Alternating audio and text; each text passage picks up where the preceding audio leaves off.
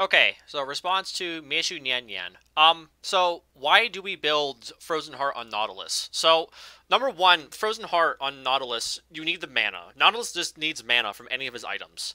So, like, if we go into the item page here, we look at all the mana items in here. Like, you do have some options in here for mana. Um, you know, Righteous Glory exists. Don't go Export Gauntlet. Don't do that. Um, Righteous Glory, Frozen Heart, do do do do Abyssal Mask. Is that really it? Are there not more mana items in here? Huh.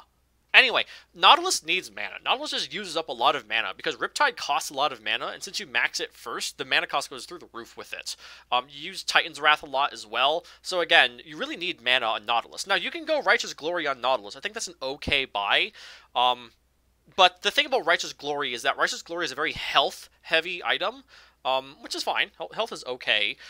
Uh, the stats on it are okay-ish. The thing about this, though, is that Righteous Glory is really heavily weighed on its active. Um, the active of Righteous Glory is really the make or break point with this item. Um, which I mean, some people are okay with that, but I like Frozen Heart because Frozen Heart is unique in that not only are we satisfying the mana problems that Nautilus has, but you have 20% cooldown reduction.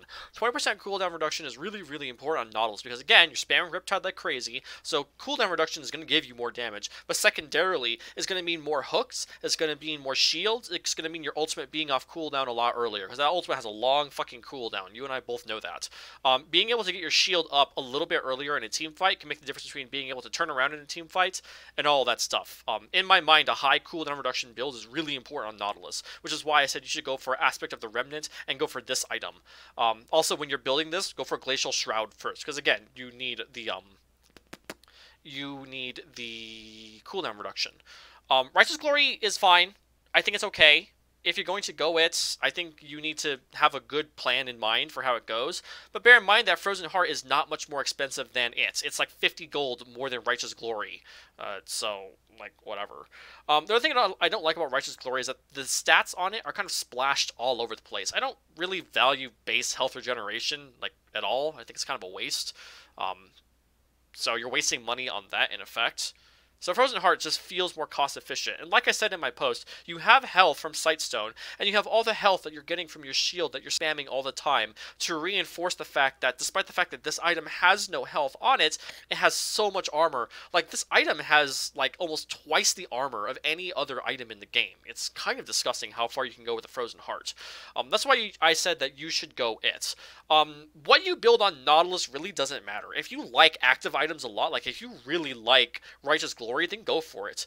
Um, I don't think Zeke's Convergence is good. Um, I, I just don't think this is a good item. Nautilus needs health.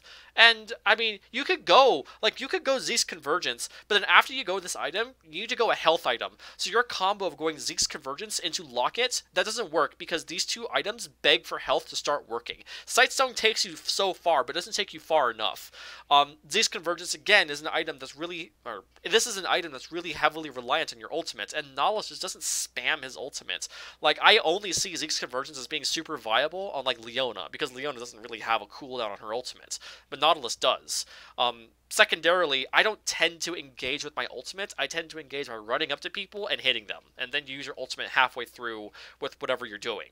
Um, so I, I just don't see this item as being like super duper good. But if you find that it's good for you, go ahead. Um, again, my justification is that hey, I want lots of resistances, I want 20% cooldown reduction, and I want um, mana. Um, Zeke's Convergence almost satisfies that, but Frozen Heart completely satisfies that. And Frozen Heart is really fucking good um, with his passive too. Its passive uh, layers well with Randuin's Omen because they don't um, overlap. So if you're if you're up against a really strong enemy ADC, you go like Frozen Heart, Ninja Tabi, and Warden's Mail, that ADC is going to be fucking sad. That ADC is going to be really, really, really fucking sad. Um, and, as, and then as I said before, like if you need magic resist options, you can go for like Locket late game. Um, as I was saying before, Locket requires health, so you need to have another health item in your um, in your kit for Locket to start working, right? Like if we look at it, mag res, armor, Locket the Iron Solari, right? It scales with your bonus life. So if you build this into Zeke's Convergence, its shield is pitiful. It's it's absolutely pitiful.